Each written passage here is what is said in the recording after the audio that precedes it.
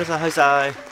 え沖縄の人口増加とともに体重の増加が止まらない宮城こと宮城和也です。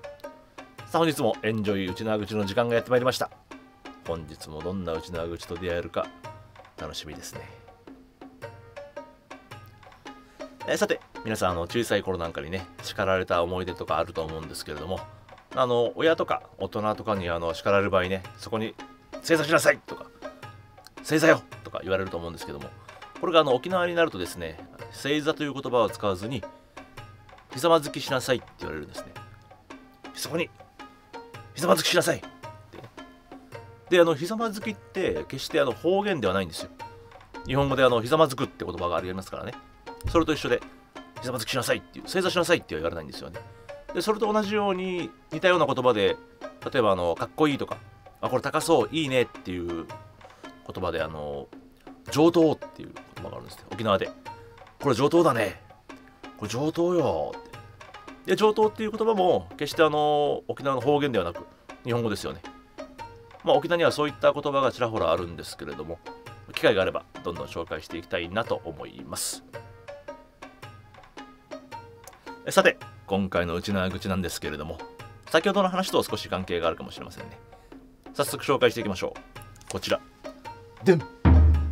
クンマーギン聞いたことありますか？まあ最近は沖縄でもあまりクンマーギンって言葉は使わないかもしれないですね。ではこちらの言葉を日本語に訳すと何になるか。こちらでんお仕置きをする。まあこれはよく聞く言葉ですよね。親があの子供にお仕置きをするだったり、ね、親が子供にお仕置きをするよ。っていい子にしないとみたいな。そういう時に使いますけども。さあお仕置きをするっていう言葉を内縄口で言うとクンマーギンとなります。それでは発音の方に参りましょう。クンマギン聞き取れましたか？まあ少しちょっと言いづらいのかもしれないんですけどもこちらの群馬議員ですけども。あの例えば群馬のね議員さんがいると思うんですけども群馬県の議員さんね。それ合わせて群馬の議員。群馬の議員。群馬議員とかね。それと合わせてみるとやりやすいと思います。群馬議員。わかりましたか？では一緒に復唱していきましょう。群馬議員。もう一度ご一緒に。群馬議員。できましたか？ではここで使用例を見てみましょう。こちら。じゃじゃん！はい。はいはいはいおー使う使う使う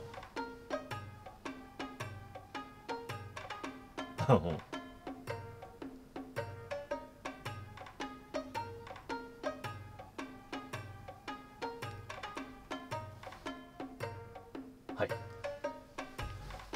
えー友達とのたわいもない会話ですよね。よくある会話だと思います。まあ、あの昔の沖縄なんかでもよくあったんじゃないかな。あの、ボールで打ってホームラン打ったりして、民家の家に飛び込む、ガラスが割れる、怒られるみたいなね、あった気がします。では、こちらのお仕置きをするを、内縄口に直してやってみましょ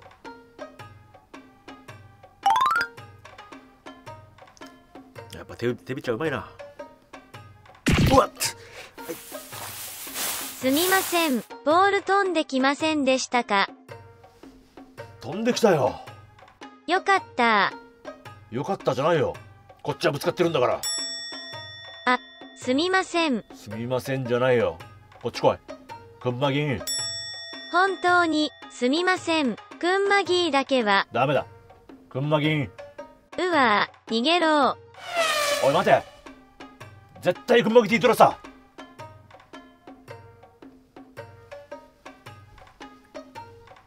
いかがでしたか？とてもためになりましたね。お仕置きをするって日本語で言うと若干あの怖い気もするんですけども、くんまぎんにするとなんか許せちゃいますよね。え今回は人を怒るときに使えそうなくんまぎんという内縄口を紹介しました。えぜひ日常で積極的に使って自分のものにしてくださいね。そしたらあなたが沖縄人になる日も近いかもしれません。えではまた次回の「エンジョイ内縄口」でお会いしましょう。またやさい。